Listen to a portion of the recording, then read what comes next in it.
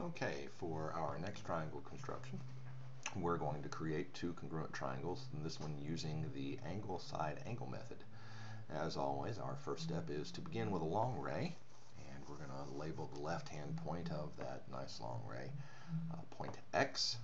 And now we begin this time with a congruent angle construction. So I'm going to put my compass with a stop point at A and swing a large arc and using the same compass setting, swing a large arc at point X.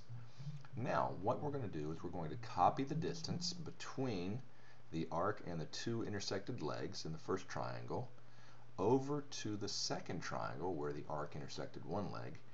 And now those two points are going to give us a congruent angle. So angle X is now congruent to angle A. So we're going to go ahead and put our congruency mark on there.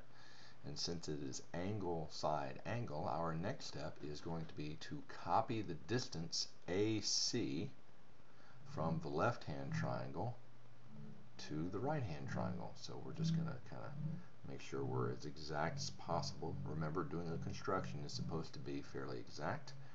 So we swing an arc and now that is going to give us a leg whose distance is equal to that of AC, so we'll label that Z. And I know that AC and XZ are congruent. So now we have two pieces of the puzzle.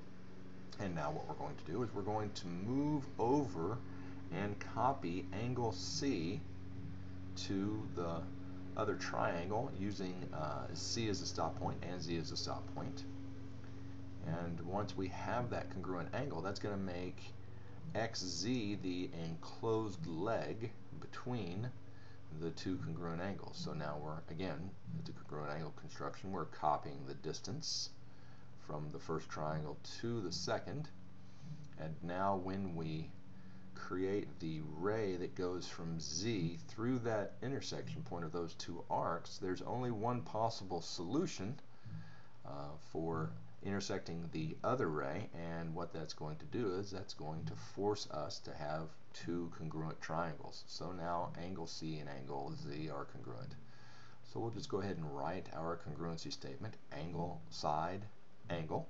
So angle A goes with angle X, AC is congruent to XZ, and angle C is congruent to angle Z and just to make sure every time you do have an intersection point you should label those. So there's our triangle congruency statement ASA and one last detail. Let's just put a Y up there real quick. That makes everything nice and neat